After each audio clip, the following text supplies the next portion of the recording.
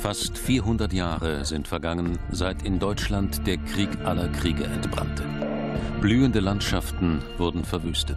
Millionen von Menschen starben durch Hunger, Pest und rohe Gewalt. Es war eine der größten Katastrophen der europäischen Geschichte. An manchen Orten starben nie zuvor und nie wieder danach so viele Menschen.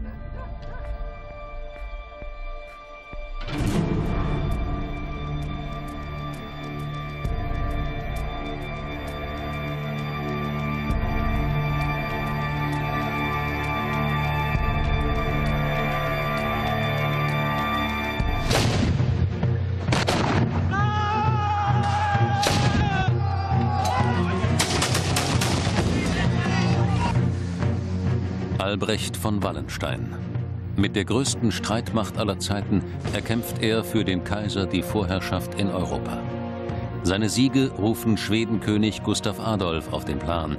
Er fordert den Generalissimus zum Duell. Der fromme Wikinger fällt in der Schlacht von Lützen. Wallensteins größter Sieg. Will der Feldherr auf dem Gipfel der Macht sogar den Kaiser stürzen? Oder will er ihm den Frieden diktieren, weil er erkennt, dass der Krieg militärisch nicht zu beenden ist? Ferdinand bezichtigt Wallenstein des Hochverrats, fällt das Todesurteil über den Retter der Monarchie. Was geschah in der Mordnacht von Eger?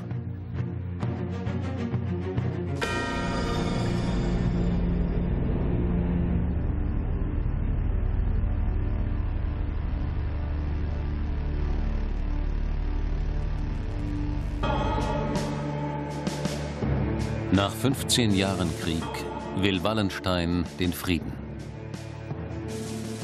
Doch noch immer sind die Schweden nicht besiegt. Als der Kaiser ihm einen Winterfeldzug befiehlt, fürchtet der Feldherr um seine Armee. Kälte und Hunger würden zu viele Opfer fordern. Wallenstein will Zeit für Verhandlungen gewinnen und verweigert den Kampf in Eis und Schnee. In klirrender Kälte ist der Krieg nicht zu gewinnen. Gegen den strikten Marschbefehl des Kaisers führt Wallenstein seine Soldaten in die Winterquartiere. Eine ungeheure Provokation für den Herrscher in Wien. Man verdächtigt ihn der Sabotage. Plant Wallenstein eine Rebellion? Wallenstein war Unternehmer. Er hatte eine besondere Verantwortung über seine Truppen und versuchte, seine Truppen nach Möglichkeit zu schonen. Dadurch kam es zu einem grundlegenden Konflikt zu seinen Auftraggebern, die natürlich ein aggressiveres, offensiveres militärisches Vorgehen von ihm verlangten, während er nach Möglichkeit seine Truppen schonte.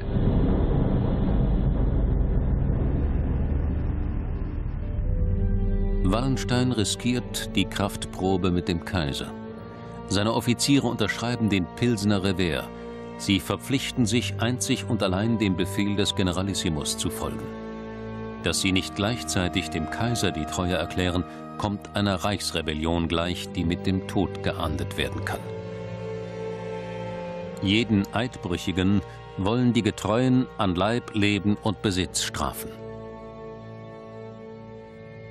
Will der siegreiche Condottiere dem Kaiser den Krieg erklären?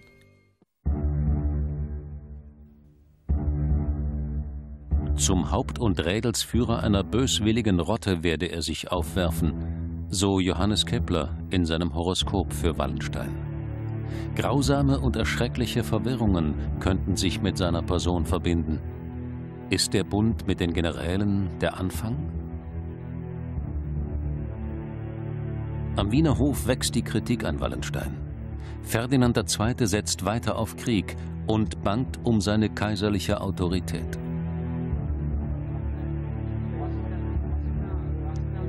Drahtzieher einer Kampagne gegen den abtrünnigen Feldherrn sind die Jesuiten. Sie bezichtigen ihn, den Krieg schmählich zu vernachlässigen, um dem törichten Gespinst eines Friedens nachzujagen. Was ist dran an den Gerüchten über ein geheimes Komplott des Herzogs? Wie reagiert der Kaiser auf die Verschwörung? Im Bayerischen Hauptstaatsarchiv in München beginnen unsere Recherchen im Fall Wallenstein. Anhand von Dokumenten rekonstruiert der Historiker Christoph Kampmann den letzten Akt im Leben des Generalissimus. Wir wollen wissen, welche Emotionen der Verdacht gegen Wallenstein im Zirkel der Macht auslöste.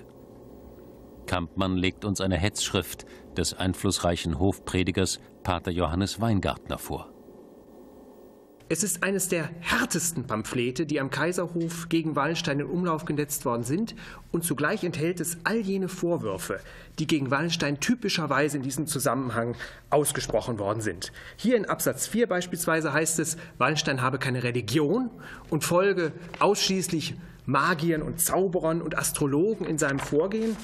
Und auf der folgenden Seite wird gesagt, dass es Wallensteins Ziel sei, sich zum Herrn über Krieg und Frieden im Reich, ja de facto selbst zum Kaiser aufzuwerfen. Das Zentrum der Macht, Schloss Waldstein im böhmischen Jitschin.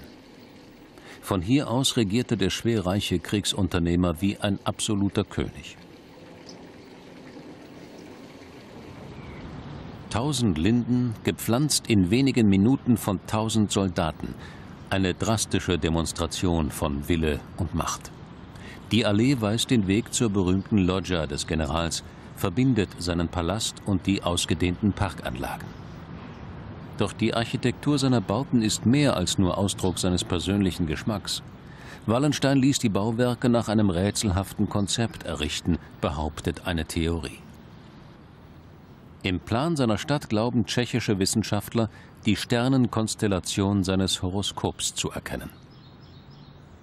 Im Mittelpunkt aller Linien ließ Wallenstein seine Palastkirche bauen. Die Türme bilden ein exaktes Viereck, in dessen Mittelpunkt er sich ein geheimes Gemach errichten ließ.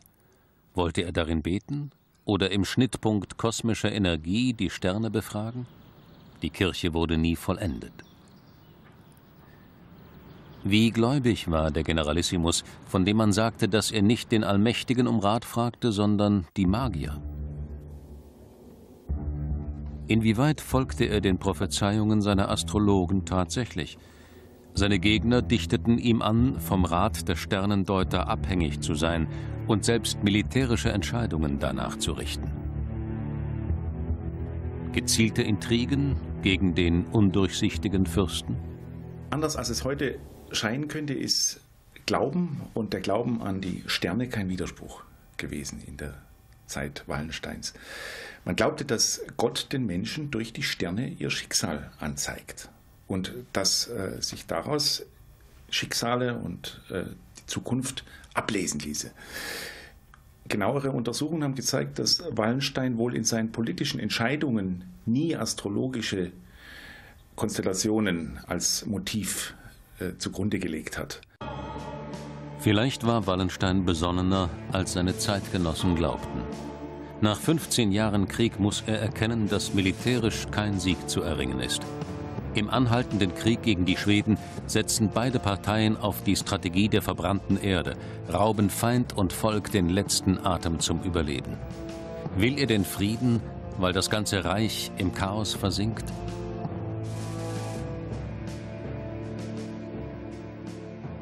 Im malerischen Mühlviertel in Niederösterreich begeben wir uns auf die Suche nach Spuren vom Leid der Menschen in Kriegszeiten. Hier finden sich bis heute unterirdische Gänge und Höhlen, in denen sich die Landleute vor der marodierenden Soldateska versteckten. Auf dem Hof von Bauer Wanz führt von der Waschküche ein solcher Erdstall in die Tiefe. Sein Vater entdeckte den Fluchtstollen als eines Tages Wasser im Kartoffelkeller stand und plötzlich im Erdboden versickerte. Durch einen schmalen Schacht gelangt man in die Höhle, die schon im Mittelalter vermutlich für Kultzwecke aus dem Fels geschlagen wurde. Tastlöcher in den Wänden dienen zur Orientierung in der Dunkelheit. Rund 300 Meter windet sich das Labyrinth in engen Schlupfröhren durch die Erde. Ob sich damals hier unten Menschen versteckt haben? Der Krieg sollte den Krieg ernähren. Wie kein anderer wurde er auf dem Rücken der Bauern ausgetragen, denen selbst nichts blieb. Wie mag es gewesen sein, wenn die feindliche Soldateska wie ein monströser Insektenschwarm auf ein Dorf anrückte, eine Meute von hungrigen, ausgebrannten Söldnern, die wogende Felder zermalmte und nichts als verheertes Land zurückließ.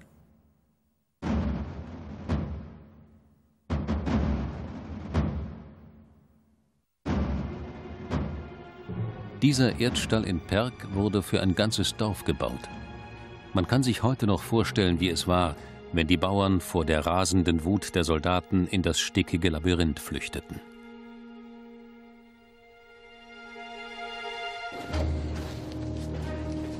Es durfte sich kein Mensch blicken lassen. Sie nahmen die Leute gefangen und schleppten sie in ihr Lager. Sie wurden geschlagen und getreten, mussten sich mit Lösegeld freikaufen. Vor der Gewalt der tobenden Landsknechte sind sie hier unten geschützt. Was bleibt, ist die Angst nach dem Durchzug der Truppen, dort oben nichts als Trümmer und Asche zu finden.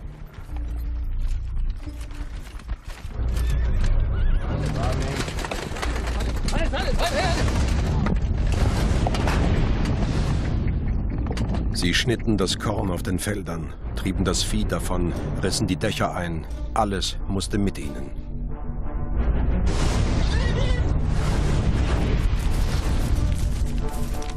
Wenn sie einen Menschen antrafen, so war es ein Wunder, wenn er davonkam. Ach, wie viele Frauen und Mädchen wurden geschändet, wie viele Leute ums Leben gebracht.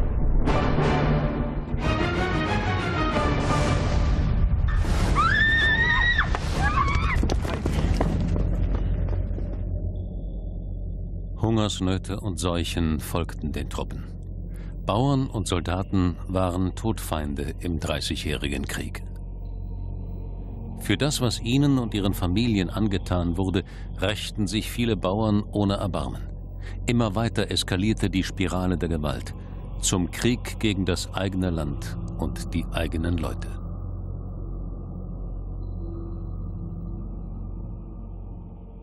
Am Schluss ging es für die meisten Söldner vermutlich nur noch darum, irgendwie zu überleben, irgendwie durchzukommen und äh, sich zur Wehr zu setzen, nicht nur gegen den Feind, sondern zum Beispiel gegen Bauern, die sich zusammengerottet hatten und ihrerseits auf Selbsthilfe aus waren. Das heißt, man kämpfte mit allen Mitteln und äh, musste irgendwie noch durchkommen. Und ich denke, dass diese Faktoren, dieses direkte Gewalterlebnis und der Kampf um die eigene Haut zu dieser beispiellosen Verrohung geführt haben.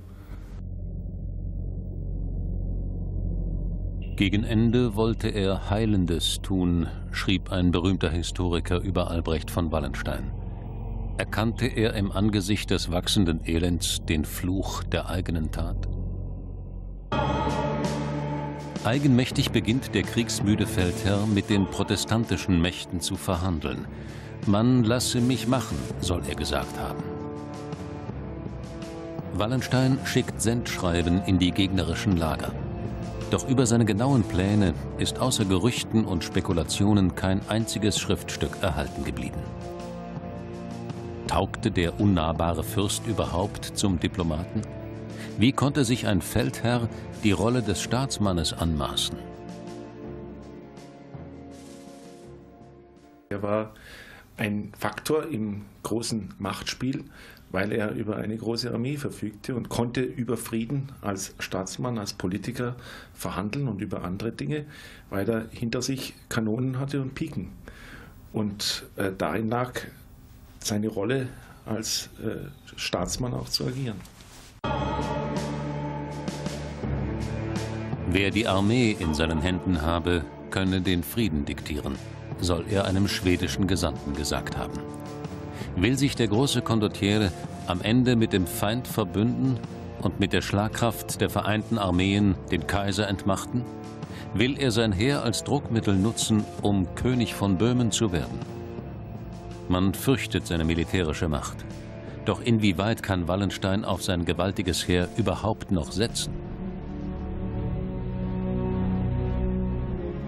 In dem verheerten Land finden die fressenden Kolosse aus Abertausenden von Soldaten kaum noch Proviant. Die Suche nach Nahrung bestimmt den Verlauf ganzer Feldzüge. Wie Furien des Hungers vagabundieren die Trosse durch das einst blühende Reich. Wie erging es den einfachen Söldnern in dieser trostlosen Zeit?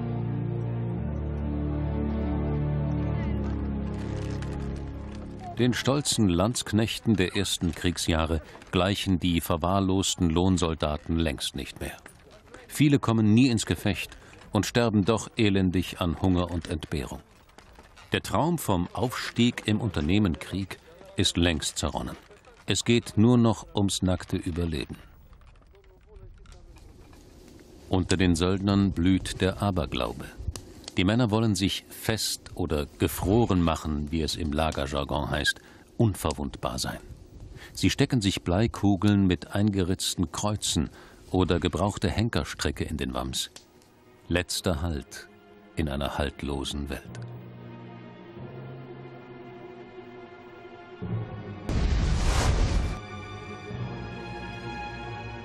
Gewalt regiert ihren Alltag.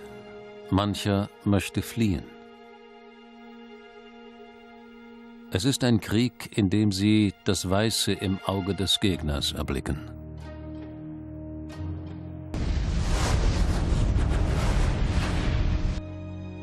Für die einfachen Soldaten ist das Ende allgegenwärtig. Jeden Tag kann das Schicksal sie treffen.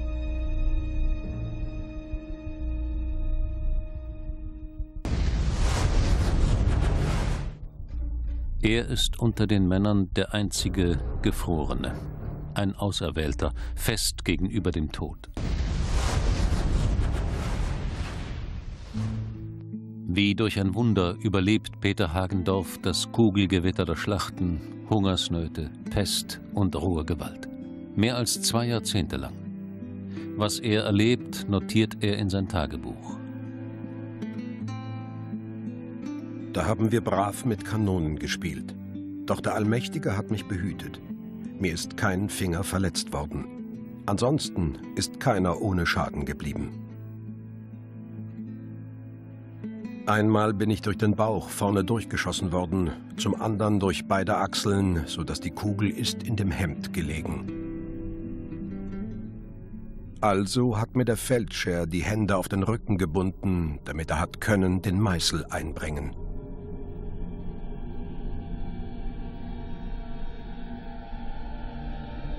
Die Operationsmethoden der Feldchirurgen muten uns heute barbarisch an. Nicht nur die Entfernung von Kugeln, sogar Amputationen mussten die Verwundeten ohne Narkose aushalten. Für uns ist es heute kaum vorstellbar, die höllischen Schmerzen solcher Torturen zu ertragen.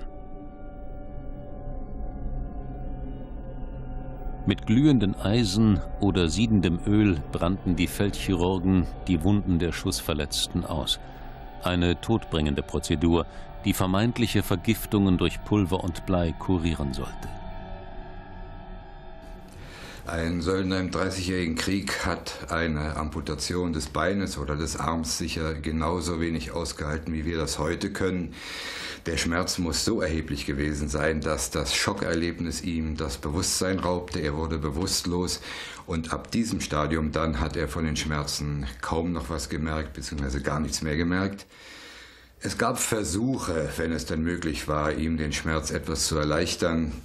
Das probateste Mittel war eine halbe Flasche Brandwein und ein Stück Leder zwischen die Zähne. Ich möchte es nicht erleben und ich weiß nicht, inwieweit das dem Söldner wirklich geholfen hat. Um Geschosse im Körper der Verwundeten aufzuspüren, benutzte man Kugelzangen.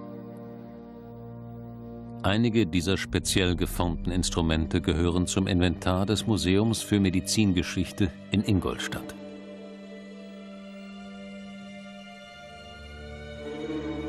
Beim Einsatz der Zangen brachten die Könner ihrer Zunft den Patienten in jene Haltung, die er im Augenblick seiner Verwundung innehatte – so war es leichter, dem Schusskanal zu folgen, zur Kugel vorzudringen und sie langsam aus dem Gewebe herauszuschrauben.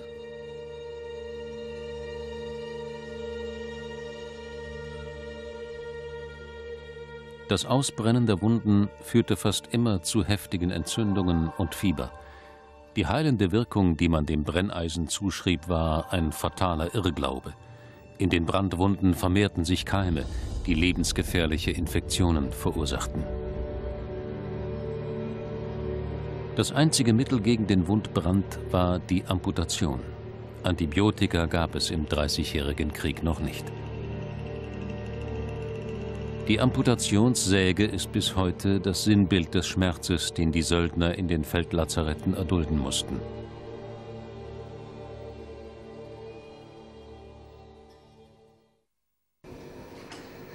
An der Wehrtechnischen Erprobungsstelle in Meppen lassen wir untersuchen, welche Wunden die handgefertigten Waffen des Dreißigjährigen Krieges verursachten.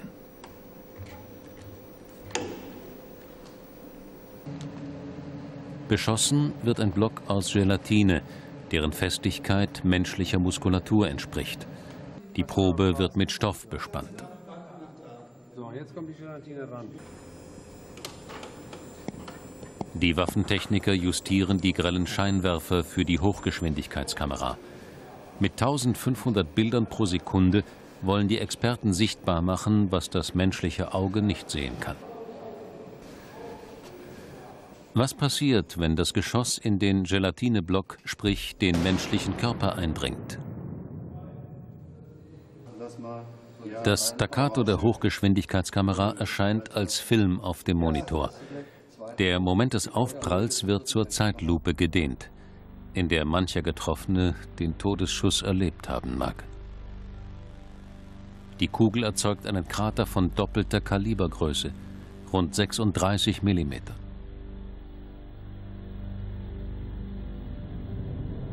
Rund um den Schusskanal sind massive Zertrümmerungen sowie verstreute Partikel zu erkennen, Verunreinigungen durch den Stoff, der tief in die Wunde gerissen wurde. Eine schwere Infektion ist programmiert. Der Vergleich mit der Hightech-Waffe G36 Kaliber 6 mm.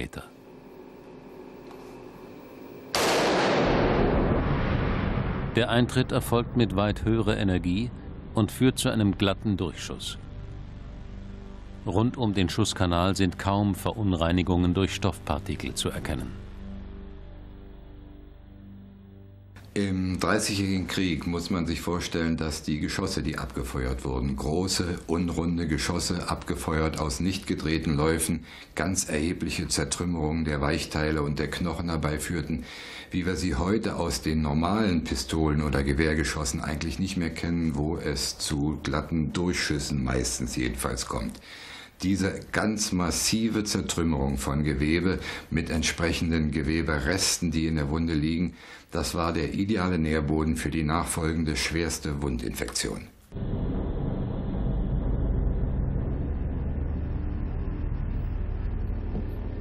Wallenstein will seine Armee nicht aufs Spiel setzen, als der Kaiser ihn zu einem Winterfeldzug zwingen will. Seine Offiziere stehen mit ihrem Eid hinter ihm, doch wie weit geht ihre Loyalität? Ist in diesem Kreis die Rede von einem Bündnis mit der protestantischen Seite, von einem Putsch gegen den Kaiser? Einer von ihnen sollte Wallensteins Lage zu nutzen wissen, um selbst den Platz an der Spitze des Heeres einzunehmen.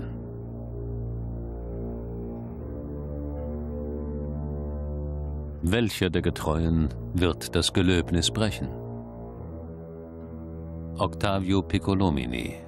Er glaubt, die wahren Pläne des Generalissimus zu kennen. Er ist Kommandant von Wallensteins Leibgarde und seiner Elitereiter, einer der wenigen, denen der misstrauische Feldherr vertraut. Piccolomini schickt Wallensteins Kürassiere mit einem Denunziantenbrief nach Wien. Das Schriftstück ist bis heute verschollen. Doch Professor Kampmann zeigt uns einen Bericht, der Auskunft über die schweren Beschuldigungen gegen Wallenstein gibt. Es ist ein Schreiben eines Hofrates, dem Piccolomini selbst enthüllt hat, was er über den Friedländer erfahren haben will.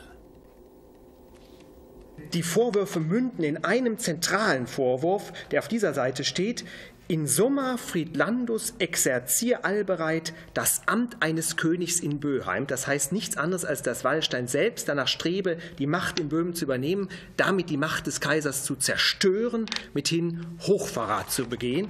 Und diese Nachricht eines engen Vertrauten Wallensteins, der ja Piccolomini war, zusammen mit den Mitteilungen über den Pilsener Revers, die lösten am Kaiserhof jene explosive Stimmung dann aus.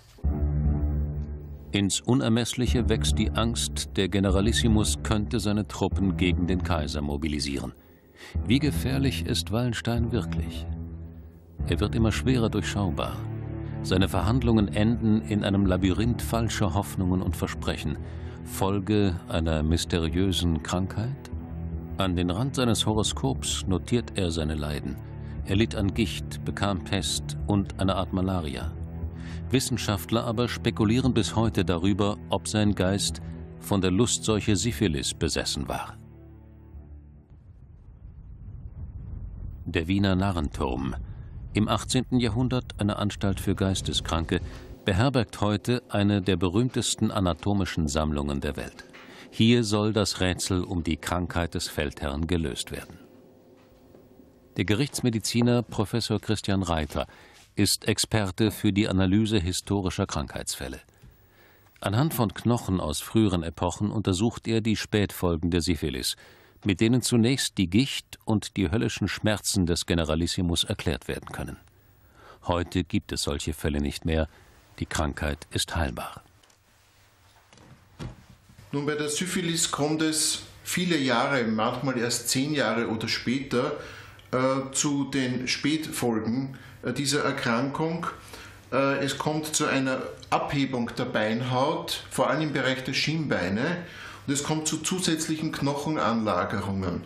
Das kann unerträgliche Schmerzen bereiten. Es sind Beschwerden aus dem Formenkreis wie rheumatisch oder gichtähnliche Beschwerden und können diese Veränderungen äh, an den Schienbeinen äh, bis zu einer vollständigen Immobilität führen. Von den Gebeinen Wallensteins existieren Fotos, die auf diesem Monitor zu sehen sind. Bereits 1975 hat ein Prager Anthropologe seine sterblichen Überreste untersucht. Diagnose Syphilis. Doch ist der bis heute umstrittene Befund aus der Sicht moderner Wissenschaft haltbar? Wenn man sich den Knochen des Wallenstein, das Schienbein des Wallenstein in der Publikation ansieht, sieht man die ursprüngliche Knochendicke und dann eine zusätzliche Anlagerung. Äh, daraus können wir eindeutig erkennen, dass es sich hier um eine syphilitische Veränderung gehandelt hat und dass Wallenstein zum Zeitpunkt seines Todes an fortgeschnittener Knochensyphilis gelitten hat. Das Syphilis-Bakterium greift nach Jahren auch das Gehirn der Erkrankten an und setzt die progressive Paralyse in Gang. Die massive Zerstörung des Nervensystems kann Denkstörungen, extreme Reizbarkeit und Gewaltneigungen zur Folge haben und Größenwahn. Hat die Krankheit auch die Persönlichkeit Wallensteins geprägt? Seine Höhenflüge, seine ungezügelten Launen und seine Melancholie? Rund zehn Jahre nach der Infektion müssen sich bei ihm die Anzeichen der Paralyse bemerkbar gemacht haben. Verstrickte er sich deshalb in ein Gespinst widersprüchlicher Aussagen, die bis heute niemand durchschaut? Man darf wohl sagen, dass Wallenstein im Verlauf seines zweiten Generalates unglücklich verhandelt hat. Er hat allen möglichen Gesprächspartnern alles Mögliche versprochen, jedem dieses, dem anderen jenes, sodass am Ende überhaupt niemand mehr wusste, woran er bei Wallenstein war, ja, man kann sagen, er hat sich in seiner Rolle als Friedensstifter und Diplomat wohl etwas übernommen. Die Unterschriften des Feldherrn aus unterschiedlichen Lebensjahren sprechen für eine mentale Störung. Aus der einst kunstvoll geschwungenen Signatur ist gegen Ende seines Lebens ein unscheinbares Gekritzel geworden.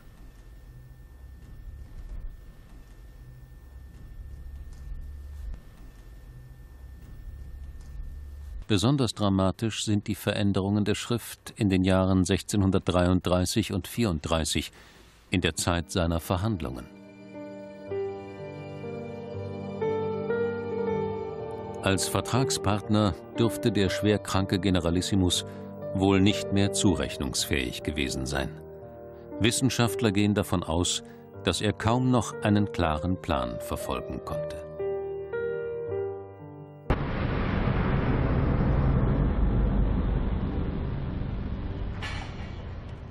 In Wien eskalieren die Ereignisse, als Piccolominis Denunziantenbrief eintrifft. Der Kaiser beruft eine Krisensitzung nach der anderen ein. Ferdinand erklärt Wallenstein zum Reichsrebellen. Im Ächtungspatent beschuldigt er ihn der meineidigen Treulosigkeit und barbarischen Tyrannei. Wallenstein plane, das Haus Österreich zu stürzen und müsse mit Waffengewalt unschädlich gemacht werden. Das Urteil lässt der Kaiser in allen Reichsteilen bekannt machen. Zunächst sollte alles in strikter Geheimhaltung geschehen, doch dann setzt der Kaiser eine ganze Kette von Aktionen in Gang. Er muss die Armee auf seine Seite ziehen. Wallenstein soll in Pilsen dingfest gemacht werden. Mit Prämien und persönlichen Sendschreiben schickt Ferdinand Kuriere in die Feldlager, um die Truppen für sich zu gewinnen. Mit der Verhaftung Wallensteins betraut er ihn, Octavio Piccolomini. Ein erst heute entdecktes Dokument belegt die öffentliche Strategie des Kaisers. In Wien herrscht in diesen Februartagen ein Klima der Angst. In der Ständeversammlung am 20. Februar geben die kaiserlichen Räte Auskunft über die schweren Beschuldigungen, die gegen Wallenstein erhoben werden. Und in der Sitzung herrscht nackte Empörung und Angst über diese Anschuldigungen. Einer der Ständevertreter, der Herr von Greis, ruft in der Sitzung aus, das, was man gerade gehört habe vom Kaiser, das sei nichts anderes als eine Kriegserklärung. Das heißt, man rechnete mit einer militärischen Konfrontation zwischen den Truppen Wallensteins und jenen Truppen, die dem Kaiser noch geblieben seien. Im Institut für Presseforschung in Bremen sind bis heute Zeitungen aus jenen Tagen erhalten geblieben. In den Blättern kursieren wilde Spekulationen und Falschmeldungen über die undurchsichtigen Aktionen Wallensteins. Die Meldungen belegen die Nervosität, die in politischen Kreisen herrscht. Ein Bericht feiert seinen Übertritt zu den Evangelischen. Er habe sich mit zwölf Regimentern vom Kaiser separiert, mit Piccolomini geschlagen und Hunderte erlegt.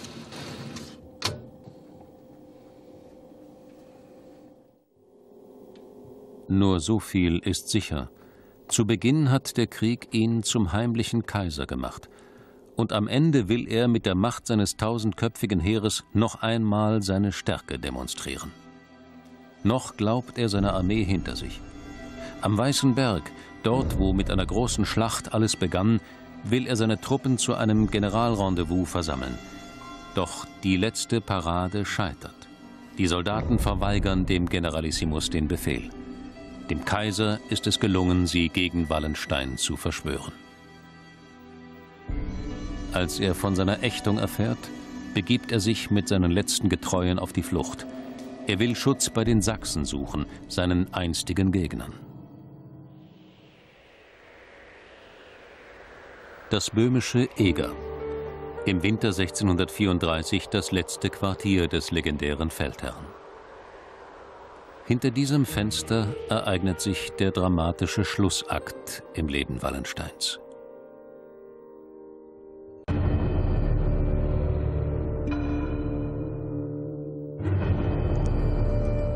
Hier wartet der schwerkranke Kriegsherr auf Waffenhilfe durch seine früheren Feinde. Er schickt einen Kurier an den Kommandanten der Schweden. Der Condottiere will die Fahnen wechseln. Doch niemand traut ihm mehr. Zu tief hat er sich verirrt im undurchsichtigen Labyrinth seiner Verhandlungen. Gepeinigt von den Schmerzen seiner rätselhaften Krankheit sucht der gefallene General hier Schutz, gejagt von seinen Mördern. Jeder Laut quält ihn. Von draußen vernimmt er Stimmen und Schritte, die näher kommen. Wallenstein tritt ans Fenster, als die Mörder in sein Zimmer eindringen. Ahnt er, was kommen würde? Der Feldherr erbittet Quartier, das letzte Flehen des Soldaten um Gnade in der Schlacht. Ein Augenzeuge hat diese Skizze vom Tatort gemacht.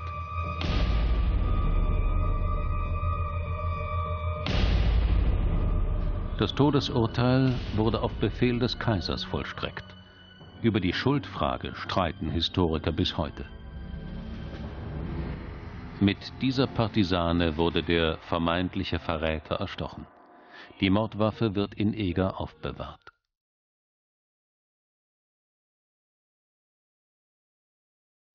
Fast nichts ist geblieben vom Leben Wallensteins.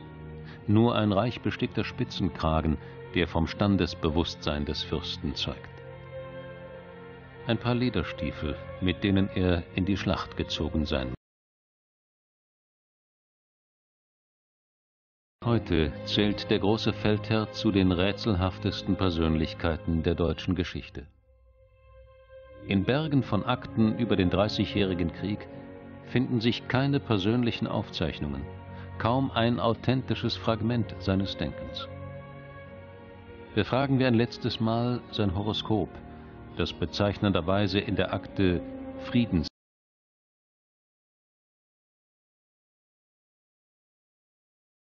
an dieser Geburt, dass Jupiter Hoffnung macht. Mit reifem Alter werden sich die meisten Untugenden abwetzen und seine ungewöhnliche Natur wird zur Verrichtung von hohen, wichtigen Sachen tauglich sein. Welches Schicksal hätte man den Menschen ersparen können, wenn man seinen vagen Friedensideen gefolgt wäre? Noch 14 Jahre sollte der Krieg weitergehen. Das Elend der Söldner haben Maler in eindringlichen Zeichnungen festgehalten. Immer mehr Krüppel prägen das Bild der Straßen, je länger der Krieg währte. Jene Männer, die für den Krieg nicht mehr taugten, als krank, als marode galten, erwartete oft ein gewaltsamer Tod. Ein berühmtes Werk des Malers Jacques Callot erinnert an ihr Schicksal. Es ist bis heute ein Sinnbild für die Abgründe und Schrecken des großen Krieges. Der Galgenbaum zeigt eine Hinrichtung verstümmelter Menschen, jener berüchtigten Marodeure, die ihre Existenz nur noch durch Betteln oder rohe Gewalt sichern konnten.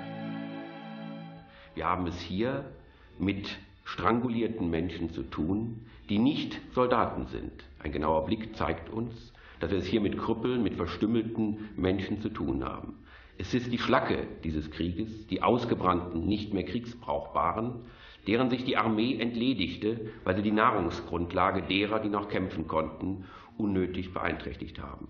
Es ist die tödliche Rationalität dieses Krieges, sich derjenigen gewaltsam zu entledigen, die nicht mehr als Soldaten ihre Leistungen bringen konnten. Unter den Folgen des Krieges litten Land und Leute noch viele Jahre nach seinem Ende. Immer mehr Gegenden wurden von schweren Hungersnöten heimgesucht.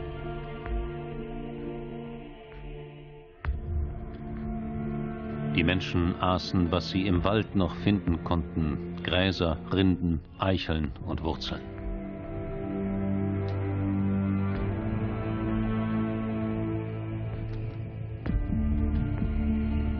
Ein Stück Brot bekamen viele nur alle halbe Jahre zu sehen. Längst war das letzte Vieh verzehrt, selbst die Hunde und Katzen.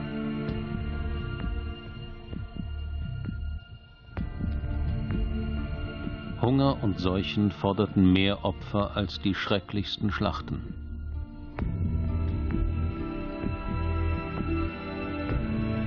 Die Not war so groß, dass die letzten Tabus gebrochen wurden.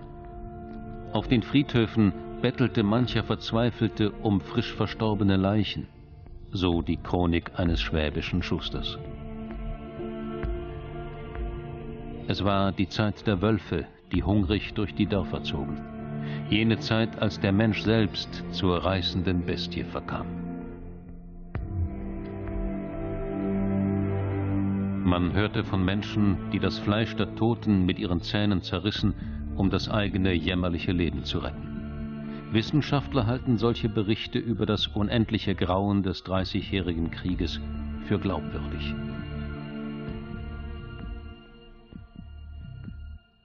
Er war der Krieg aller Kriege. Man muss sich mal klar machen, dass damals auf deutschem Boden mehr Menschen starben als in jedem anderen Krieg vorher und nachher. Bis heute. Die äh, Menschen nahmen wahr, dass ganze Gassen ausgestorben sind. Eine Stadt wie Augsburg hatte vor dem Krieg 45.000 Einwohner. Eine Volkszählung am Ende gibt gerade noch 16.000 Einwohner. Man hat versucht, Spuren dieser kollektiven Traumatisierung wiederzufinden, zum Beispiel in der Tatsache, dass gerade in solchen Gebieten man sich weniger um das Leben kümmerte und zum Beispiel eine höhere Kindersterblichkeit über Generationen hinaus blieb, dass er ein Urerlebnis gewesen sein muss für die Generation des Krieges und die Generation danach, das steht außer jedem Zweifel. Er überlebte das Inferno, der Söldner Peter Hagendorf. Acht Kinder und die erste Frau raubte ihm der Krieg. Was aber machte ein Söldner wie er, als endlich Frieden war? Er begann den Krieg in schnörkelloser Reinschrift aufzuschreiben. In seinen Gedanken durchlebte er alles noch einmal von vorn. Und er zog weiter auf seinem Marsch, der ihn 25.000 Kilometer kreuz und quer durch Deutschland führte. Wie er im Frieden lebte, wissen wir nicht.